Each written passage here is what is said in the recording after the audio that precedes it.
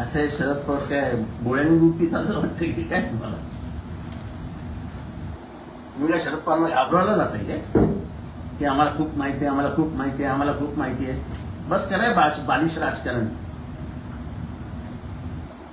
जे बघितलं ना ऐश्वर्य या खुर्च्या या कोणामुळे बघितल्या? बापाची चप्पल पायात आली म्हणून माणूस बाप होत नाही. फक्त पाय वाढलेला असतो अक्कल वाढत नसते. म्हणजे हे जर तुम्ही सांगून असाल की शरद पवारांच्या खूप गोष्टी आम्हाला माहिती आहेत आणि त्या आम्ही हळूहळू बाहेर काढणार आहेत. खुशाल काढा. हे असली आव्हानात्मक भाषा देऊ देऊ नका. शरद पवारांनी अनेक आव्हानं बघितली अनेक आव्हानं. धनंजय मुंडे म्हणतात की तरी राष्ट्रवादी ठाण्यामध्ये पोहोचण्यासाठी मी सांगितलं ना मी माझं नाव न घेता जे बोलले. काकाच्या पाठीत सुरा कोणी मारला? राजकीय जन्म काकानेच दिला.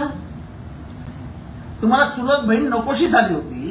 त्या चुलत बहिणीच्या घरी जाऊन आता तुम्हाला ओळख तुम्हाला ओळख तुम्हाला ओळख. कशाला करता? भरत बियाणी भगीरथ बियाणी यांनी आत्महत्या का केली? त्याच्या पोरीला कोणी छळलं? नाही त्या छळाला कंटून कंटाळून भगीरथ बियाणीने आत्महत्या केली की नाही? आता मुंडे नावाचा एक पोरगा मारले गेला परळीमध्ये. पोलिसांच्या मुळे मारला गेला की काहीतरी झालं. गुन्हा का नाही नोंदवलाय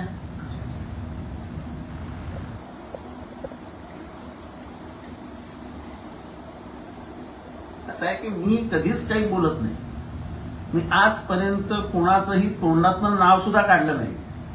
पण तुम्ही माझं नाव काढाल तर मी शांत बसायचे असतात. राजकारणामध्ये कितीही शत्रू मोठा असेल काही गुप्तता बाळगायची असते.